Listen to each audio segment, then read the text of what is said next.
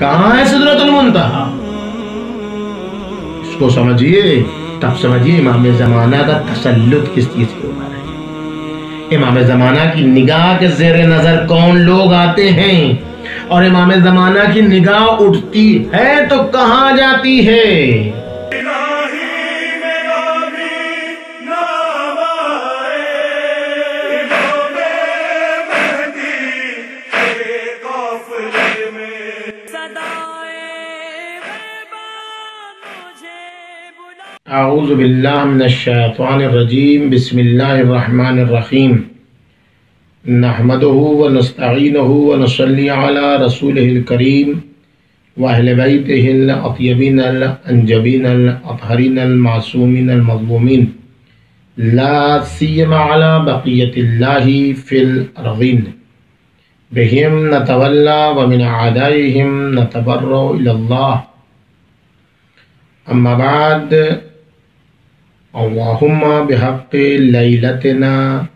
व मौलूदहा व हुज्जतिका व मऊदहा।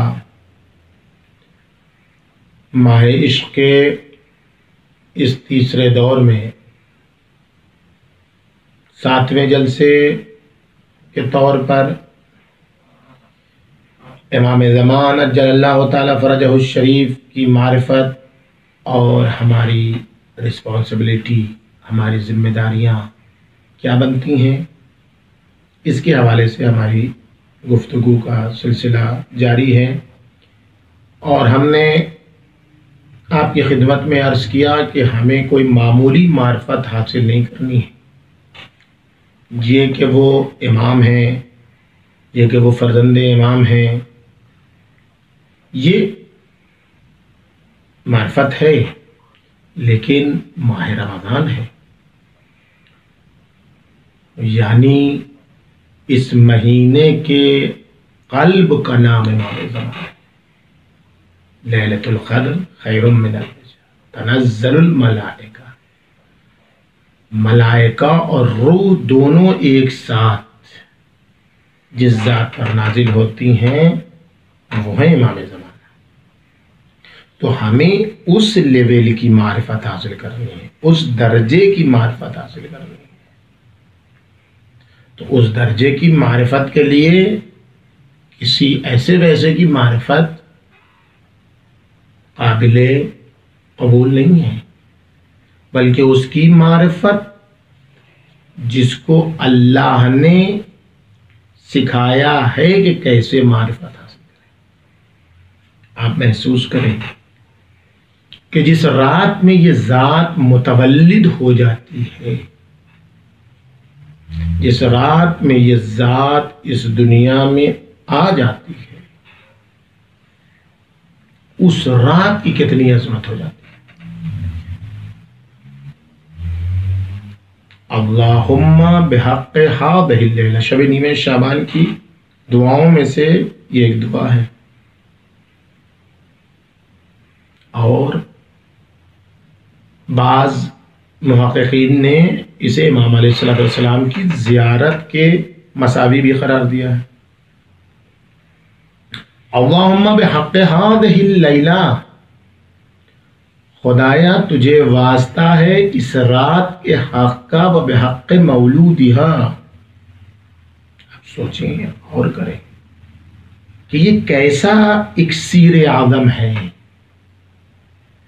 ये कैसी पारस पत्थर से भी आला अरफा ज़ात वाला सिफात है कि जिस रात में ये ज़ात मुतवल्लिद हो जाती है, उस रात में इतनी सलाहियत पैदा हो जाती है कि उसके हक का वास्ता लेकर खुदा की बारगाह में इंसान जाता है।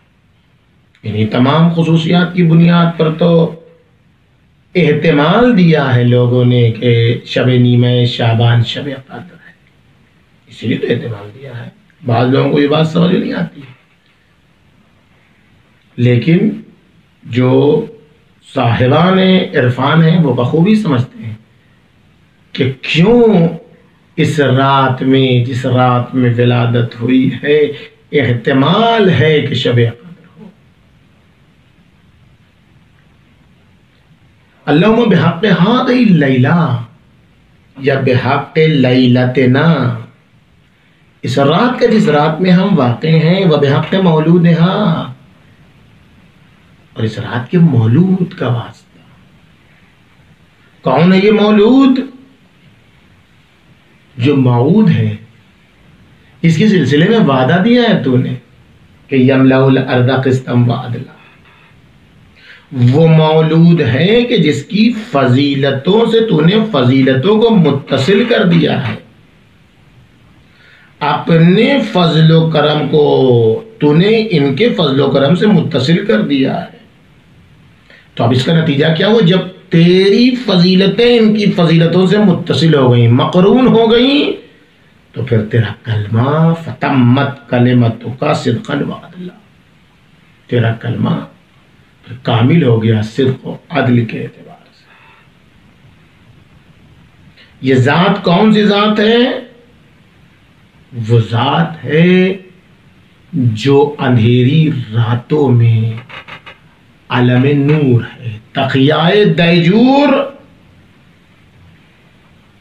में अलम नूर है।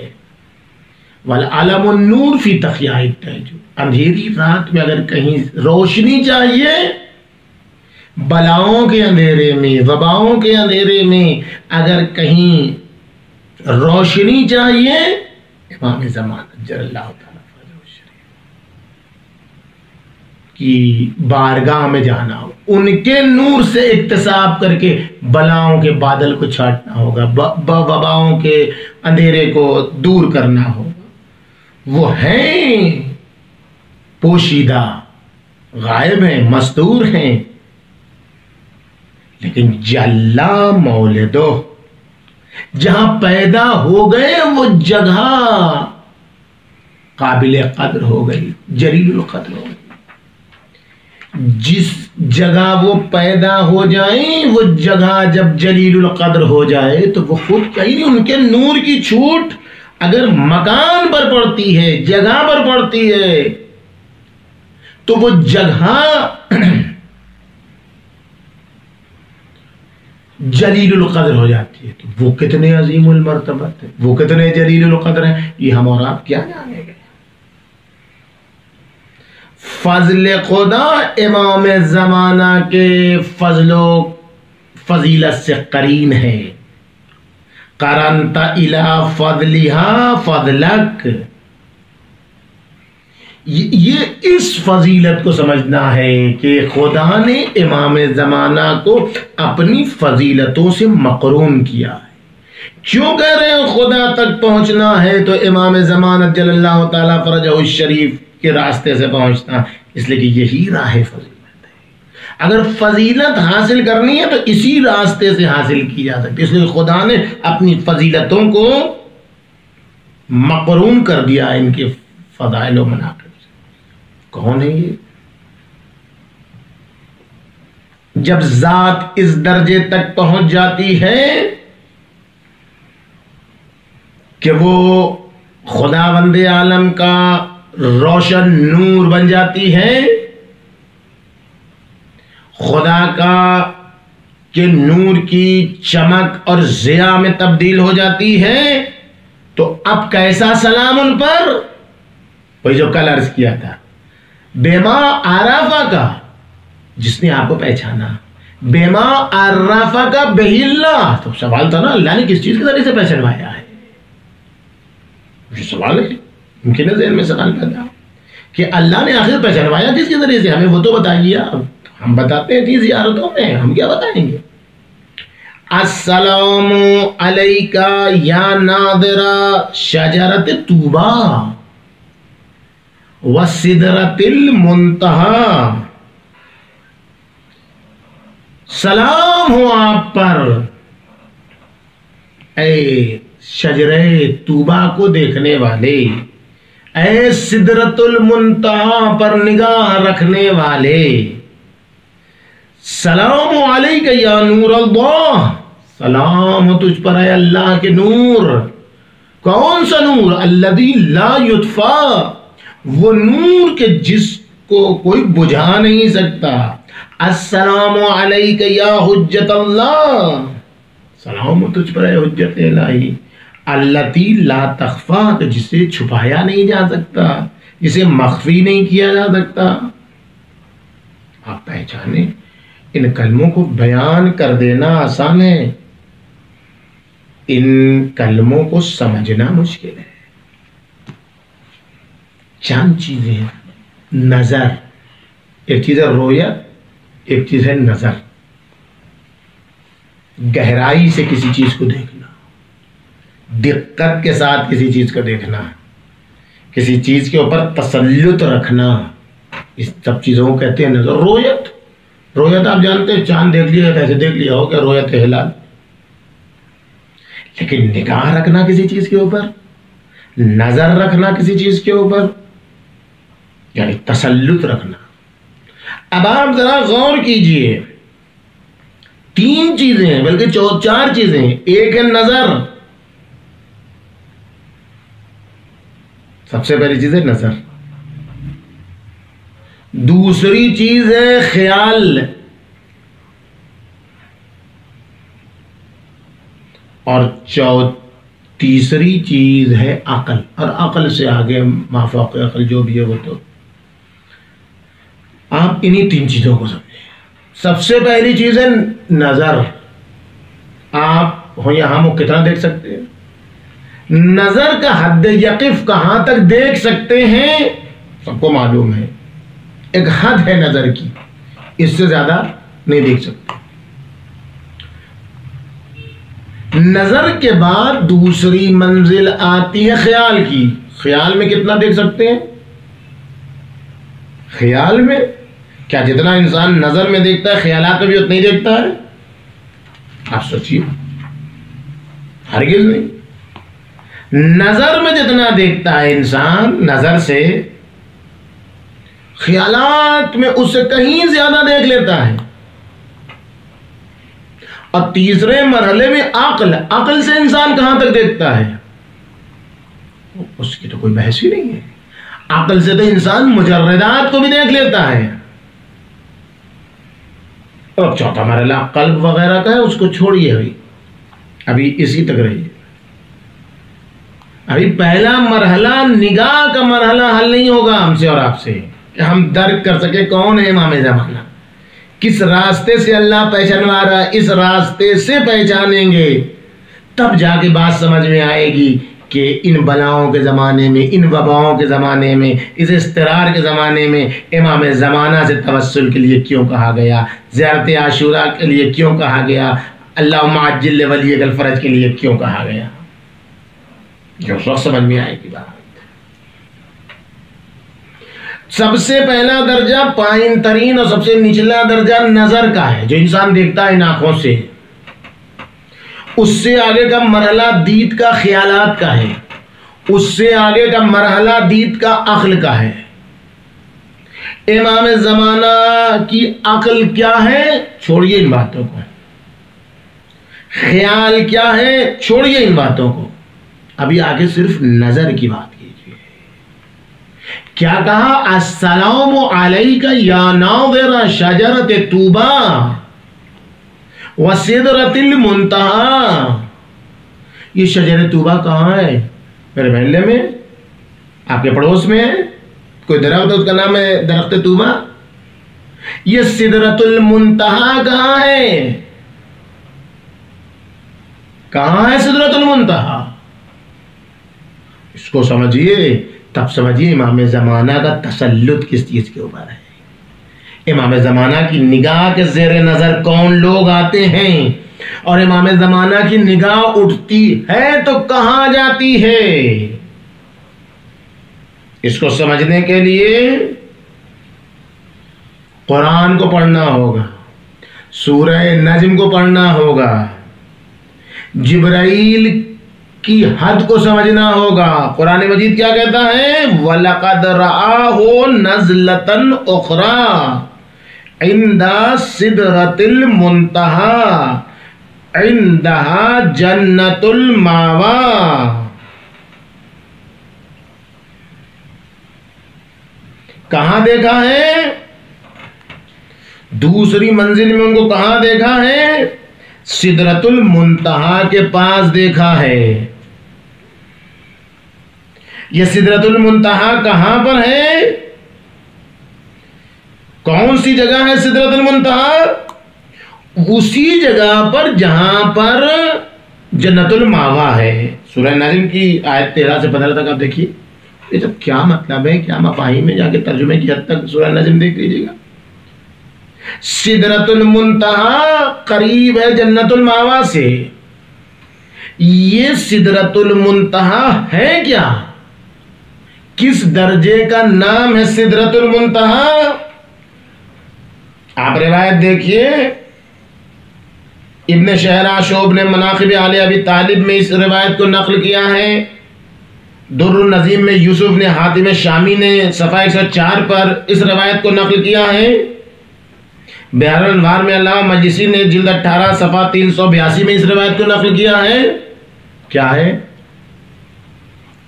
ये सिदरतुल मुंतहा क्या है? किसकी हद है सिदरतुल मुंतहा? क़ाल अब्बास फ़ी खबरिन, फलम्मा बलगा इला सिदरतिल मुंतहा। जब पैगंबर अकरम सिदरतुल मुंतहा तक पहुँचे फनतहा इलल हुजुब, और पहुँचने के बाद वहाँ हिजाब की आखिरी हद थी। अब इसके बाद कोई हिजाब नहीं था। अब खरक हुजुब की मंजिल थी। तो पैगंबर अकरम ने फरमाया, वहाँ पर। जिब्रील से भी, चलो जिब्रील। फ़काला जिब्राइल जिब्राइल ने रसूल अल्लाह से कहा तकदम या रसूल अल्लाह रसूल अल्लाह इससे आगे आप बढ़िए बिस्मिल्लाह अब इससे आगे तजावुज करना मेरी औकात में नहीं है मेरी हद में नहीं है लईसली अन अजूजा हादल मकान रसूल हम इस जगह से आगे नहीं बढ़ सकते हैं वलऊ दनऊ तो अनमोलतन तो नबी खुदा अगर मैं इस जगह से आगे बढ़ गया आगे बढ़ गया नहीं। एक बालिश नहीं दो बालिश नहीं एक कदम दो कदम नहीं। लव दनो तो अनमोलतन। अगर मैं उंगली के स्पोर के बराबर भी आगे बढ़ गया तो लहतरख तो, तो मैं जल जाऊँगा। यह है सिदरतुल मुंतहा हद यकीफ जिब्राइल अमीन का। मुंतहा जिब्राइल अमीन सिदरतुल मुंतहा। और अब देखिए, अस्सलाम या नाज़िर शजरत तूबा व सिदरतिल मुंतहा इसका मतलब ये हुआ कि इमाम ज़मान अज्जल्लाहु ताला फरजहु शरीफ की एक निगाह उठती है तो सिदरतुल मुंतहा तक जाती है। यानी जिब्राइल अमीन तहत तसल्लुत इमाम ज़मान अज्जल्लाहु ताला फरजहु शरीफ है। यानी जिब्राइल अमीन तहत सैतरे हज़रत वली असर हैं यानी जिब्राइल अमीन, फर्जंद जहरा मर्जिया सलामुल्लाह के तहत नज़र हैं। निगाह उठती है तो सिदरतुल मुंतहा तक जाती है। जिसकी निगाह सिदरतुल मुंतहा तक जाती हो, उसकी अकल कहाँ है? उसका इरफान कहाँ है? उसका कल्ब कहाँ है? अगर हम इसको दर्द कर ले, कर सकते हैं दर्द? किसी में सलाहियत है कि इसको दर कर ले? नहीं। जब जात इस हद तक पहुँचती है, जब जात इस हद तक पहुँचती है कि जिब्राइल अमीन उसके तहत तसल्लुत हो जाते हैं, वो नादिर शजर तूबा व सिदरतुल मुंतहा करार पा जाती है जब जात इस हद तक जब जात पहुँच जाती है तो उसके चार मनसब क्या है वो चार मनसब? कैसे है वो चार मनसब? उसके, जिसकी निगाह के दायरे में सिदरतुल मुंतहा मसल जिब्राइल अमीन आता है। क्या है वो चार मनासिब? क्या है वो चार मरतबे? इंशाला आइंदा गुफ्तगु में आपके सामने पेश किया जाएगा। अगर हम इसको आपके सामने आज खुलासे में बयान करना चाहें, दो तीन सेकंड में तो इतनी सी बात कह सकते कि चार मनसब हैं आपके। एक, पहला मनसब, खादन कुल इल्मिन। दूसरा मनसब, फातिक कुल रतकिन तीसरा मनसब मुहक़ कुल हक़िन चौथा मनसब मुबतल कुल बातिलिन। इन इसकी तोज़ी इसकी वजाहत आइंदा बयान होगी। फ़िलहाल के लिए वसलम वरहमल वर्का